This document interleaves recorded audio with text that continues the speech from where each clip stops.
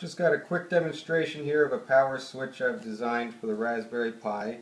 I programmed a, an ATtiny 85 to communicate with the with two of the GPIO pins on the Pi. Uh, when you flip the switch, the, the script that runs in the background on the Pi picks up the that input. It starts the shutdown sequence, and then when the shutdown sequence is finished, the the ATtiny picks that up and it cuts power to the relay and that cuts power to the board on the Pi as well. I'll do a quick demonstration here. I'm just going to push the button. You can see there.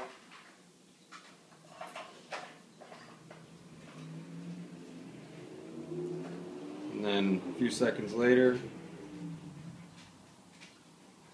power goes out on the Pi. And then if you want to restart, just flip it on. Give it a few seconds.